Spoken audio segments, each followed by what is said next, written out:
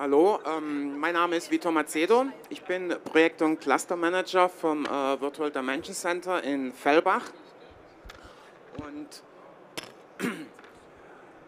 am äh, VDC Fellbach, äh, wir sind ein äh, Kompetenznetzwerk für Virtual und Augmented Reality. Ähm, neben Projekt- und Clustermanagement bin ich bei uns auch für unser XR-Labor zuständig, für die Technik und äh, für die Hardware. Wie bereits erwähnt, wir sind ein Netzwerk, ein Kompetenznetzwerk und zwar ähm, ein wirtschaftlicher Verein, Non-Profit und beschäftigen uns mit den Themen XR, Virtual Reality, Augmented Reality und äh, haben bei uns in unserem Netzwerk entsprechend Mitglieder, die in diesem Bereich tätig sind. Einige davon werden auch nachher noch ein paar Themen vorstellen. Wir als VDC äh, wurden 2012 gegründet und die Kernaufgaben sind ähm, Fachinformationsbeschaffung, Technologietransfer, ähm, Außendarstellung, Projektentwicklung, äh, hauptsächlich geförderte Projekte, Bund, Land und EU, aber eben auch Technologiebewertung und Technologieanalyse. Aktuell als Netzwerk äh, circa sieben Mitarbeiter und ähm, ja, eines der großen Themen, Öffentlichkeitsarbeit, Technologietransfer, nicht nur für unsere Mitglieder, auch für die Region und um das Thema XA als Ganzes voranzubringen. Ähm, durch Veranstaltungen und äh, unterschiedlichen Events versuchen wir natürlich den Unternehmen und dem Thema XA eine Plattform zu bieten, um äh, die Technologien äh, zeigen zu können, um sich vernetzen zu können in dieser doch noch recht jungen Branche. Äh, zusätzlich da dazu veröffentlichen wir regelmäßig Positionspapiere, White Papers, Berichte und Analysen rund um das Thema XR. Ähm, ich habe hier noch ein paar äh, der letzten äh, White Papers, äh, die wir veröffentlicht haben, mal notiert, also Thema Kreativwirtschaft, Einsatz in der Luft, äh, Luftfahrt, aber auch kollaborative XA und das Thema äh, virtuelle Abnahmen. Hier ein kleiner Überblick über unser Netzwerk. Ähm, wir sind an sich ein klassischer Verein, eine klassische Vereinsstruktur, Mitglieder getragen und ähm, unser, ähm, unser Vorstand wird von unseren Mitgliedern gewählt, setzt sich aus unseren Mitgliedern zusammen, die bestimmten Geschäftsführer und äh, dann unten nochmal kurz dargestellt unser, unser Team. Hier habe ich eine kurze Übersicht über unsere Mitgliederstruktur. Ähm, letztendlich haben wir äh, Mitglieder aus unterschiedlichen Bereichen. Also wir haben einerseits die Technologieprovider, die äh, Softwareentwickler, die Hardwareentwickler, die uns im Netzwerk tätig sind, sich bei uns im Netzwerk ähm, vernetzen. Ähm, sind auch einige, sicherlich einige bekannte Namen dabei. Und äh, auf der anderen Seite natürlich dann die Endanwender, die diese Technologien einsetzen und die Kooperationen, Partnerschaften suchen und diese Technologien bei sich im Unternehmen dann einsetzen möchten. Ansonsten zum, äh, für, für Thema Transfer haben wir natürlich bei uns auch viele Universitäten, Forschungseinrichtungen, mit denen wir zusammenarbeiten, aber auch einige, einige Banken, ähm, die hier natürlich auch äh, am Thema Startups sehr interessiert sind.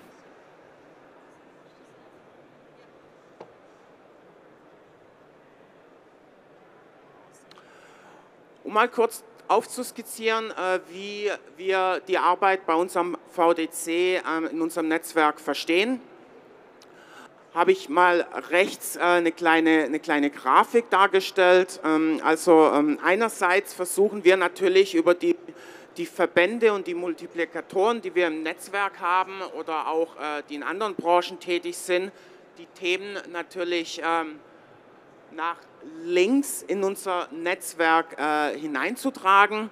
Das heißt, äh, wir werden hier ähm, Anwendungen, Dienstleistungen oder die Anforderungen da dazu entsprechend aufnehmen und bei uns im Netzwerk thematisieren.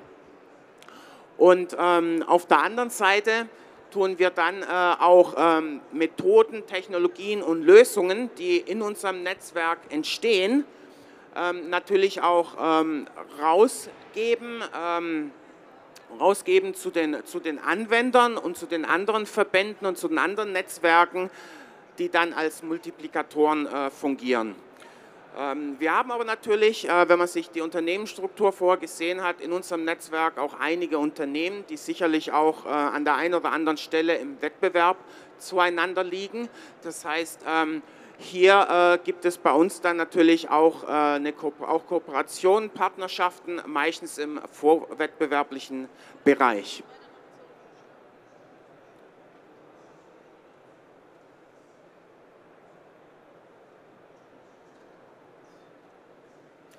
Wie ich vorher schon erwähnt habe, das VDC äh, ist, äh, wurde im Jahr 2002 gegründet. Somit ähm, haben wir ähm, auch schon äh, ein paar Jahre hinter uns äh, zum Thema XA. Seit 2016 hat das Thema XA natürlich nochmal noch mal einen kleinen Schub bekommen, als die Technologien dann auch äh, in Richtung Konsumentenbereich verfügbar wurden. Aber auch davor ähm, waren die Themen natürlich schon bei den Anwendern und äh, bei den Technologieprovidern präsent und man sieht es hier, wir sind schon seit einer Weile tätig und äh, haben auch an der einen oder anderen Stelle uns auch die eine oder andere Auszeichnung dann auch verdienen können.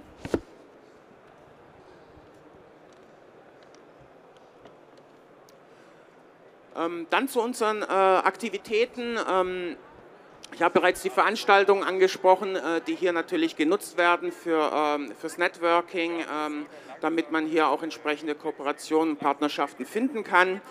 Eine dieser, dieser größten Veranstaltungen, sieht man hier auch links unten, ist die XA Expo, die äh, in Stuttgart im Haus der Wirtschaft stattfindet, stattgefunden hat. Äh, wir als VDC sind der Organisator der XA Expo und ähm, freuen uns auch, dass wir diese Veranstaltung äh, im B2B-Bereich äh, als eine der größten hier in Deutschland auch entsprechend hier in unserer Region in Stuttgart etablieren konnten.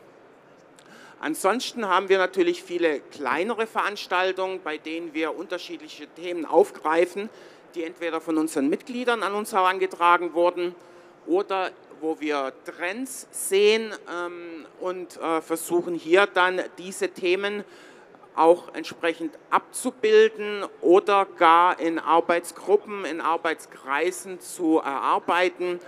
Ähm, hier haben wir bei uns einige im Haus.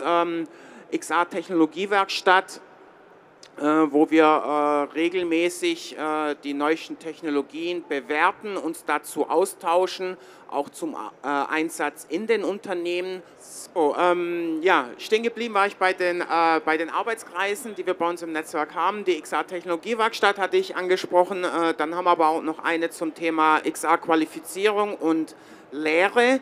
Unter anderem ist hieraus, äh, beziehungsweise wir haben auch am Rahmenstoffplan ähm, für den Ausbildungsberuf Gestalter immersiver Medien mitgearbeitet als VDC. Und äh, solche Dinge, solche Initiativen sind dann auch hier bei uns in den Arbeitskreisen entstanden. Dann äh, Veröffentlichungen. Wir haben unterschiedlichste Veröffentlichungen. Zum Beispiel haben wir bei uns am VDC in unserem Labor, das ich vorher mal kurz erwähnt habe, auch Mess- und Prüfmethoden für Virtual Reality und Augmented Reality Headsets entwickelt.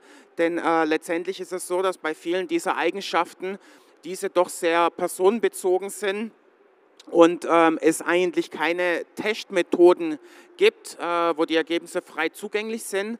Und hier haben wir uns was überlegt, haben Software geschrieben, haben äh, Hardware entwickelt, damit wir hier standardisierte Prüfmethoden haben, haben diese dann auch entsprechend durchgeführt und äh, in unterschiedlichen Berichten veröffentlicht zu, ähm, zur Bildqualität, ähm, Farbtreue, äh, Field of View, Komfort, Gewicht. Und all diese Berichte sind dann bei uns auch äh, öffentlich frei zugänglich auf unserer Webseite verfügbar.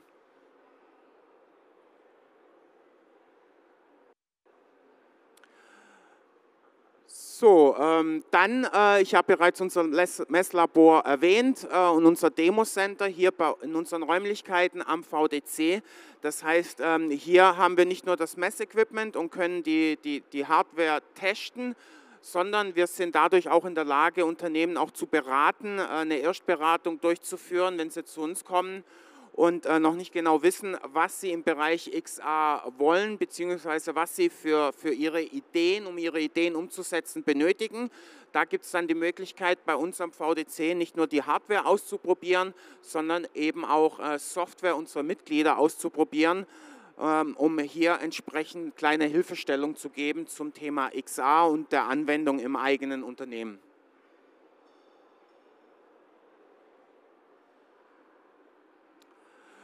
Die Einstiegsberatung hatte ich gerade schon angesprochen. Ähm, zusätzlich da dazu ist natürlich äh, Gremienarbeit, Lobbyarbeit entsprechend sehr wichtig. Wir sind in unterschiedlichen Gremien drin. Ähm, wir sind auch in unterschiedlichen äh, Normierungs Normierungsinitiativen äh, vertreten, wo wir natürlich auch versuchen, die Themen von XA zu platzieren, wo wir der Meinung sind, dass die wichtig sind oder wo wir über unsere Mitglieder und über die Unternehmen in der Region entsprechend wissen, dass hier Handlungsbedarf besteht.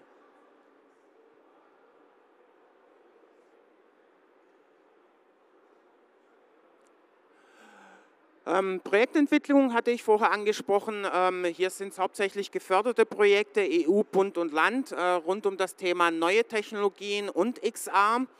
Ähm, ansonsten äh, natürlich die Außendarstellung, das größte Event, ich habe es bereits erwähnt, die XA Expo. Äh, Im kommenden Jahr 2025 äh, wird das Ganze ähm, zusammen mit dem Metaverse-Kongress vom Ministerium äh, abgehalten werden. Da wird es von uns auch demnächst aber noch weitere Informationen dazu geben.